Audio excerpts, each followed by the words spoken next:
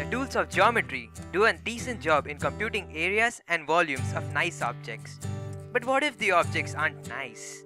For instance, how do you derive the formula for the volume of a sphere? The regular tools of geometry are incapable of handling such smooth objects. To gain an in-depth understanding of this problem and its solution, we need to understand the difference between the discrete and the continuous.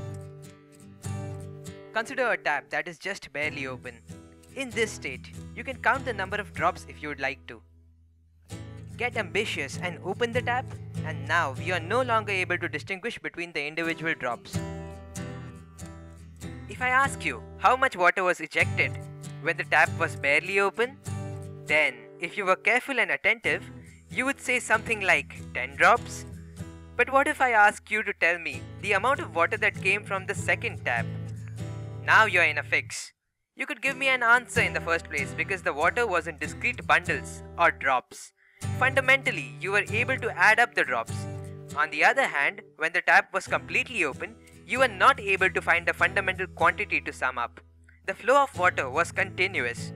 As our mini experiment suggests, we need some sort of a continuous summation tool to handle such situations. To further build our intuition, consider the following example. I will prove that motion doesn't exist in a video.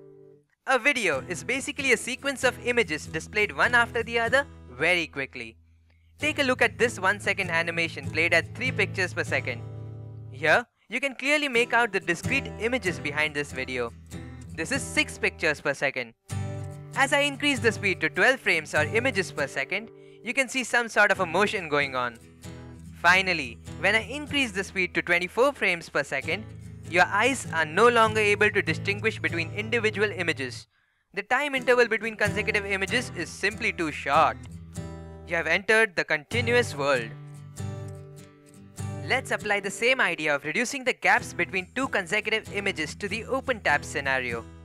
Let's trigger our imaginative superpowers and visualize an infinitely small element of water. With this, we will be able to add up volumes of these small elements because we know that the gap between the elements is so small that it can be comfortably neglected. These infinitesimal elements, the trends in their variations, and every other thing nearby forms the basis of a branch of mathematics called as calculus. Calculus is seen in an infinitely many real-world situations. The motion of waves, birds, cats, dogs, snails is all continuous and therefore can be studied with the tools of calculus. Finally, you can also analyze the slope of the curvy tilde at various points after you learn calculus. So, May your journey with calculus be a smooth one. Like our videos, wish to contribute or drop a note? Visit our website or our Facebook page.